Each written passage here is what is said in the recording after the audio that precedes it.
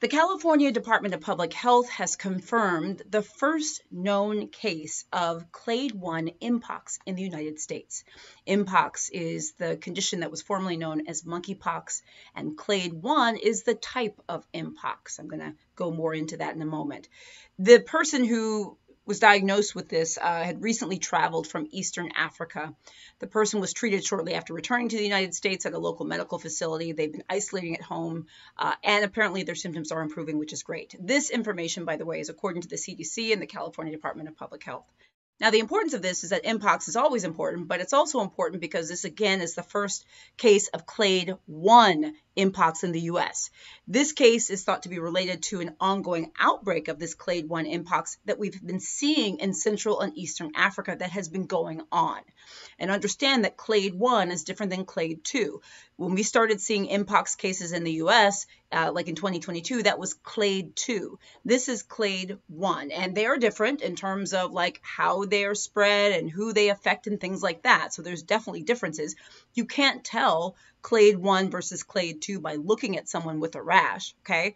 But um, clade 1 has never been reported in the US until now. The other main and probably one of the most significant things about clade 1 and understanding this is that historically, clade 1 has caused more severe illness and deaths than clade 2 mpox, okay? However, the CDC reports some good news, in my opinion, and that is that infections from clade 1 mpox in the current outbreak may not be as severe as what we've seen in the past. Okay, um, you know, outbreaks in the past used to have death rates around 3 to 11 percent. Now, more recent outbreaks have had death rates as low as 1% or so when patients receive good medical care. And that's really important, especially since we've been seeing this outbreak overseas.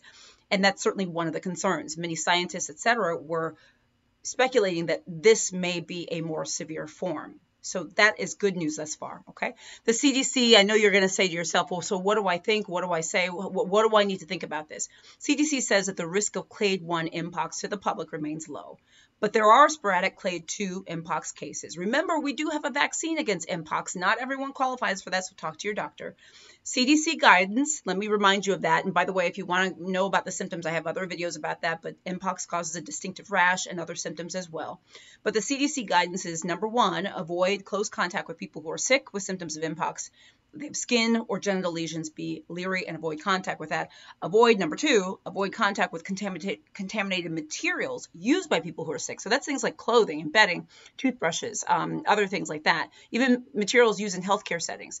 And number three, as I mentioned before, if you're eligible, get both of the recommended doses of Mpox vaccine. So I will continue to keep you updated about this. If you want uh, more information on Mpox pictures, etc., just DM me, send me a message so I can send you links to those videos.